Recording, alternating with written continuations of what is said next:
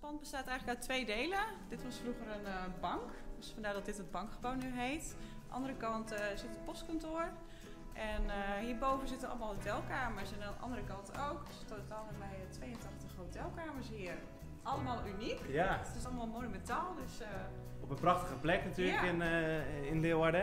een van En, de mooiste eh, straten eh, van Leeuwarden ook ja. de Tweebaksmarkt. En natuurlijk lekker eten, lekker drinken in Grand Ja. Café.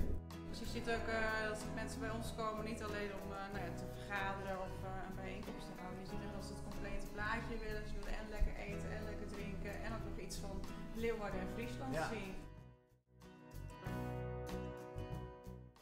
We zijn nu in de plugzaal. Deze ruimte stond vroeger helemaal vol eh, nou ja, met deze plugapparaten. eh. En waar al die, die, die gaatjes waren dan voor een eh, bepaald adres. ja, dan gingen ze hier doorverbinden. Hebben ze al gezien. Postduiven.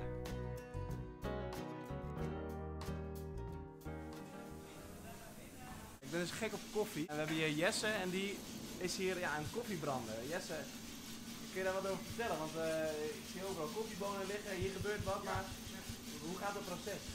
Wij eh, krijgen onze koffie eh, groen binnen vanuit verschillende landen. Dat melangeren we zelf. En dan halen we de smaak eruit door middel van het branden van de koffie. Nee, zullen we een kopje proberen? Ik ben wel benieuwd.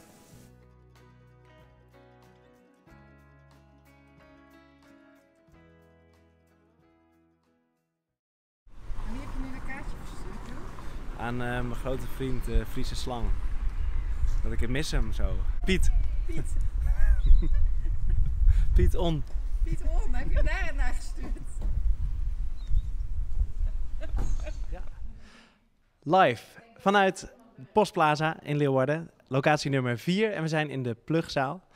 Prachtig mooie zaal waar iedereen eventjes eh, kan uitrusten. Hè, van het trappen lopen en van het bezoeken van ja, toch alweer vier locaties. Dus we gaan gestaag verder in het programma. En dit is een oud postkantoor. In deze zaal eh, werden de telefoongesprekken doorgeschakeld, doorgeplucht. En ehm, we hebben hier de mogelijkheid gekregen om een kaartje te versturen. Dus we gaan even kijken waar eh, de kaartjes naartoe worden verzonden. Ik zie hier al iemand eh, druk schrijven. Wat is jouw naam? Els, Els. En waar, naar wie schrijf jij een kaartje? ik stuur hem naar mijn ouders, want het is wel heel toepasselijk. Mijn ouders die hebben vorig jaar een camper gekocht in 75. En die eh, zouden een paar dagen naar Friesland gaan. En net voordat ze weggingen, kreeg mijn moeder een hartstilstand. Dus het is allemaal goed gekomen, gelukkig. Maar ze zei wel van, we gaan weer met de camper naar Friesland. Dus ik vond het wel heel toevallig. Wat leuk. Ja, dus, dus eventjes eh, de groeten doen eh, vanuit Friesland. Leuk. En wat vind je van, van deze zaal? Ik vind het prachtig. Ik vind de kleurstelling vind ik ook erg mooi. En die lampen, ik zeg, dat maakt het ook wel. Als je die lampen wegdenkt, is dat weer een heel andere zaal. Wat, eh, wat zou je jezelf organiseren voor evenement? Ik vind het heel lastig nu op dit moment, ja. Ik heb nu voor nu nog geen idee, maar het zal het meeste neerkomen op eventueel een webinar in een mooie omgeving. Is- En ik ben van de thema's, dus dan zou ik dat met dat post zou ik dan. Nou, het thema post is hier wel heel erg mooi. eh, komt hier overal mooi weer terug. Dus dat zou leuk zijn om dat daarin door te Wat vond je de mooiste zaal in deze, in deze locatie? trekken. beneden. te- met die bar en eh, ja, hoe het eruit zag. Ik ben zelf post, postbode geweest op de zaterdagen dat ik eh, jong was. En dan zie je die, eh, die brievenvakjes waar je alles in moest sorteren. Dus het is ook een hoop herinneringen weer. Ja, heel leuk. Dus je voelt je wel een beetje thuis, zeg maar. Hier heb je wel affiniteit mee. Als Drent voel ik mij hier ook nog wel een beetje thuis. ja. En Elfa uit het noorden. Ja, kom je daar nog steeds vandaan? Nee, ik woon nu in Utrecht, maar, eh, of in de omgeving van Utrecht. Maar ik heb, eh, ben opgegroeid in Drenthe. En, eh, en vanuit Utrecht, wa- wat voor, wat voor evenementen organiseer je daar vanuit? Ik organiseer eh, congressen en congresreizen, internationaal en nationaal, normaal gesproken. Ja. Normaal gesproken, hoe is dat eh, nu ietsje anders? Nu is het heel lastig, omdat ik eh, met name ook in de zorg werkzaam ben. Dus dan wordt het helemaal lastig. Je wilt nu ook geen mensen benaderen in de zorg, omdat ze wel met andere dingen bezig zijn. Dus het is Oh, dus jij doet de evenementen voor, voor de zorg organiseren. zorggerelateerde onderwerpen voor de pharma, ziekenhuizen. Ja. En eh, denk je, want dat is, dat is natuurlijk een, eh, een, een eh, branche die flink is belast. Denk je dat die straks juist weer meer zin hebben om, om daarop uit te gaan? Nou, ik hoop het wel. Het is nu misschien nog een beetje lastig, maar ik merk zelf wel dat er in de zorg ook wel mensen denken van het kan allemaal wel, volgens mij. Ja.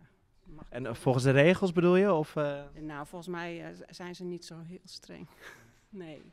komen ze ook nog best wel dicht bij je staan. Dus dat is allemaal niet zo, niet zo heel ernstig. Maar ja, ik hoop wel dat het wel weer aantrekt. Want ik ben er wel van overtuigd dat je live moet ontmoeten.